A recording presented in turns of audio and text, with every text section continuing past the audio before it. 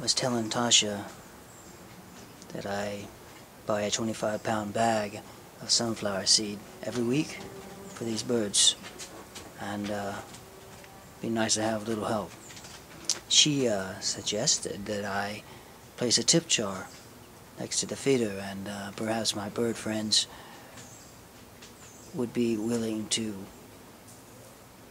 donate a few shillings every once in a while before they feed or after as a tip.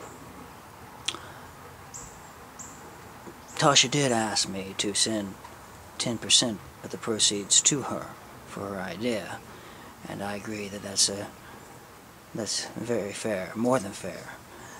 So uh, that's what I shall do.